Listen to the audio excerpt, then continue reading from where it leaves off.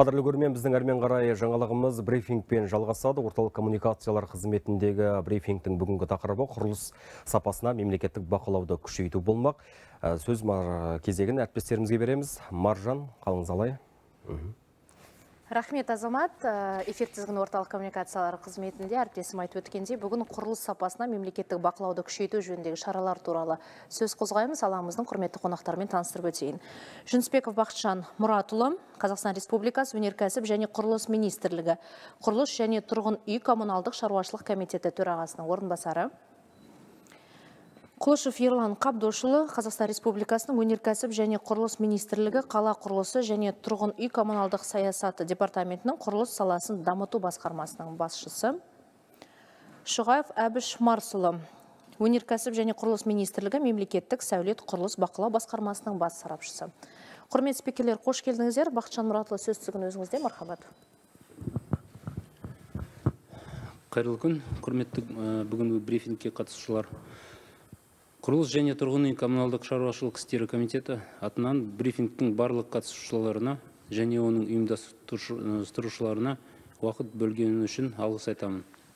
Өздеріңіз білгендей құрылыс саласы экономиканың белсенді дамып келе жатқан секторларының бірі болып табылады және елдің әлеуметтік экономикалық дамуына айтарлықтай әсер етеді.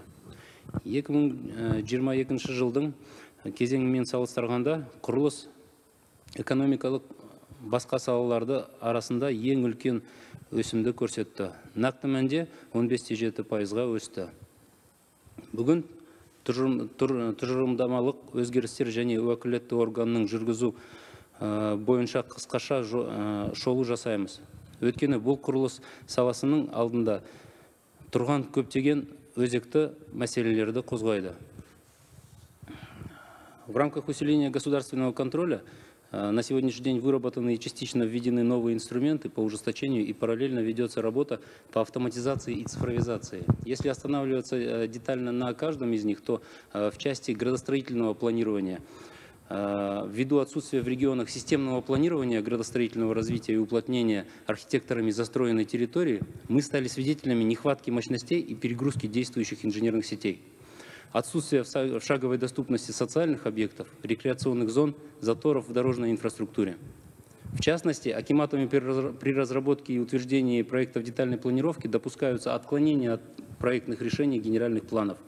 Хаотичная застройка и в том числе э, без инфраструктуры, а также незаконная корректировка этих проектов детальной планировки.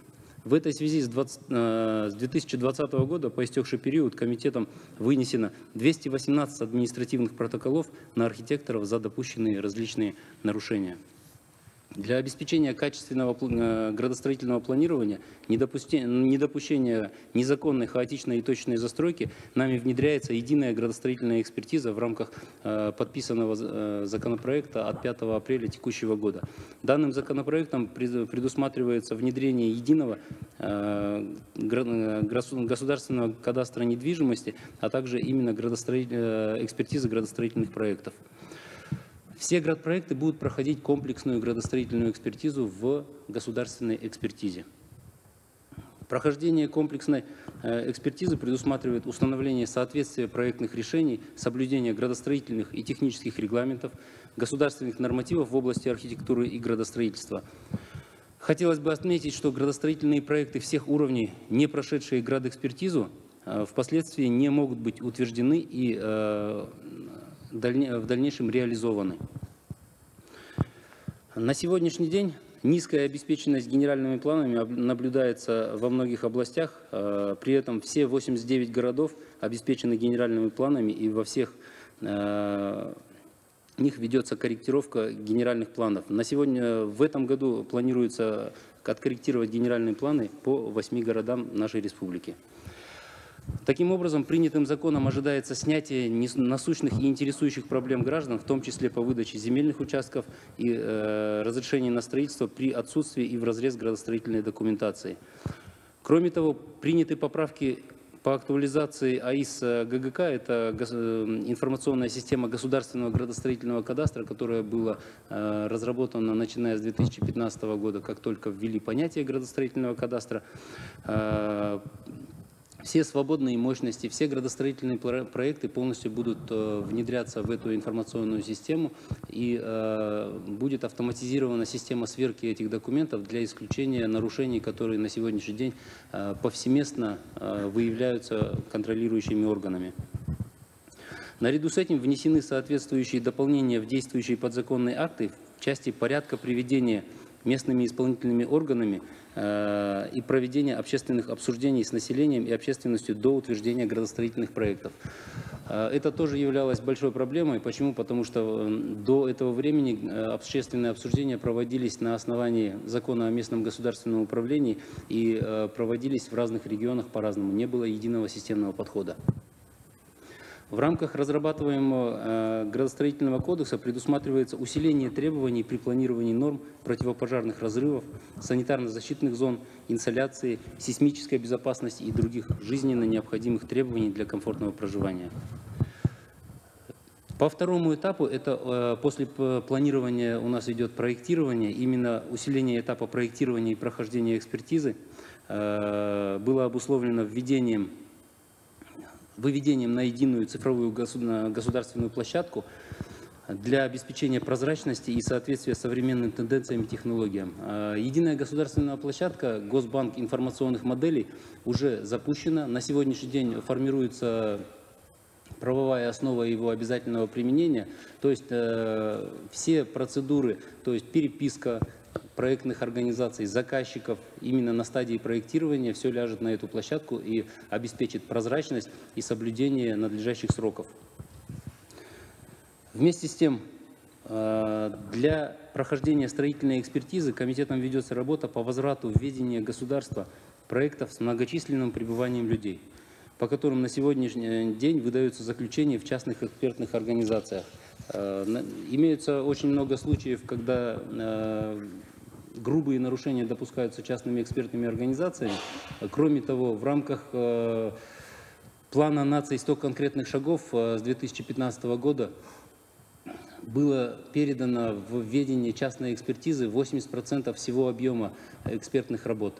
На сегодняшний день, на сегодняшний день государством проводится порядка 20% экспертных работ. И э, самое здесь сложное то, что технически несложные объекты, которые были переведены из разряда, из разряда технически сложных, э, также проектируются и строятся компаниями с третьей категории лицензии. Третья категория лицензии – это, по сути, начальная э, лицензия, которую могут получать компании без опыта работы. Целях исключения подобной практики э, приказом э, комитета внесены соответствующие дополнения в госнорматив в части разработки разделов и, внешне, и решений проекта комплексно в составе единой ПСД в части э, инженерной инфраструктуры. Как вам известно, на сегодняшний день очень много есть фактов того, когда э, построено здание, но при этом нет э, инж- инженерной инфраструктуры для того, чтобы это здание полностью функционировало. Соответственно, э, отсутствует возможность введения его в эксплуатацию и норма- использование данного здания, в том числе увеличиваются сум- э, затраты на его содержание до введения в эксплуатацию. Э, По третьей части это этап строительства. В части усиления контроля на этапе строительства э, с 2018 года, э, как вы знаете, система госконтроля носила исключительно профилактический характер, без возможности оперативного принятия мер и не- непосредственного воздействия. К тому же, на основе системы управления рисками невозможно было провести профилактический контроль без наличия жалобы.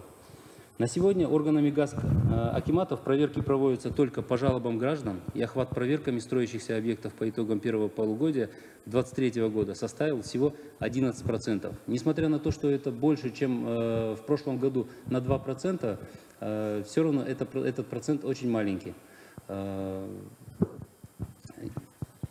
Э, Для справки, в первом полугодии 2023 года органами ГАСК принято 9242 уведомления о начале строительно-монтажных работ. В эксплуатацию введено 5595 объектов. В сравнении с аналогичным периодом 2022 года уменьшение по введенным объектам составило порядка 2%, 2%, это не критично. Э, Всего проведено проверками органом, органами ГАСК 1186. Э, Это почти на 40% больше, чем в прошлом году. Хотелось бы отметить, что э, вследствие снижения госконтроля наблюдается рост самовольного строительства, надстроек и несоблюдение проектных решений, а также ненадлежащее взаимодействие между органами архитектуры и э, госархстройконтроля для достижения поставленных задач по недопущению незаконного либо самовольного строительства.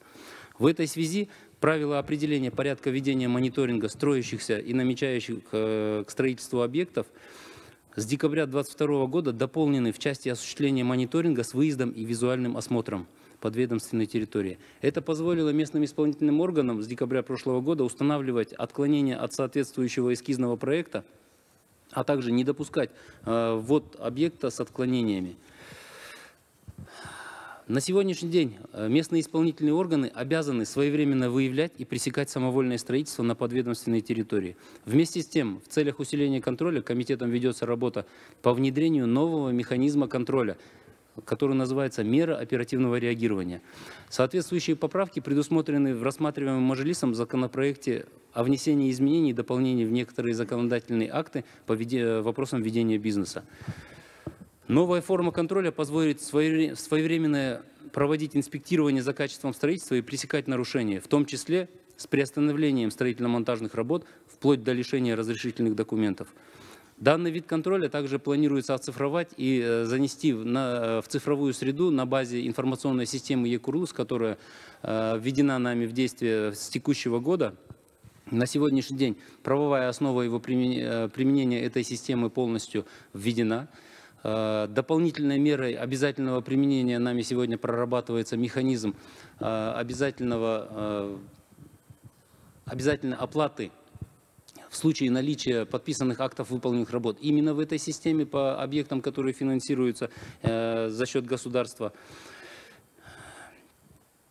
Также стоит отметить, что параллельно ведется работа по цифровизации отрасли не только на предмет именно мониторинга и выявления несоответствия на стадии э, строительства, но также градостроительная документация и э, проектирование, то есть на базе э, платформы ЕПСД, они все сводятся в одну информационную систему и создается единая цифровая платформа обеспечения контроля качества в автоматическом режиме и сохранения всей исходно-разрешительной документации, документации которой сопровождается непосредственно само строительство в информационной среде. Это исключит э, оплаты за невыполненные работы. Это исключит увод от ответственности участников строительства. На сегодняшний день, как вы знаете, и э, технические, и авторские надзоры очень часто привлекаются к ответственности за некачественное оказание услуг. В системе части цифровизации автоматизированы государственные функции и работает централизованная электронная база отчетности технадзоров. Имеется единый реестр лицензиатов, э, технадзоров, инженерно-технических работников, а также э, на цифровой среде проводится аттестация инженерно-технических работников.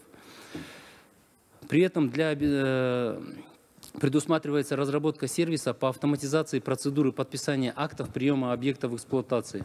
На сегодняшний день это э, проводится в цифровой среде, услуга оцифрована, но фактически э, заказчики очень многие бегают за техническим, за авторским надзором для того, чтобы оформить декларацию, для того, чтобы оформить заключение о соответствии э, проекта и качестве строительства. Дополнительно в рамках разрабатываемого стройкодекса предусматривается усиление государственного контроля на стадиях строительства и приемки внедрения, э, с внедрением механизма планового инспектирования объектов с участием органов ГАС и заинтересованными органами в приемке объектов в эксплуатацию. Также заинтересованные органы непосредственно, э, я имею в виду Министерство по чрезвычайным ситуациям, будет задействовано на стадии прохождения экспертизы для того, чтобы отступы именно противопожарные были обеспечены на стадии проектирования. Позже Позже они при э, приемке объекта в эксплуатацию непосредственно будут проверять свои, э, исполнение своих рекомендаций.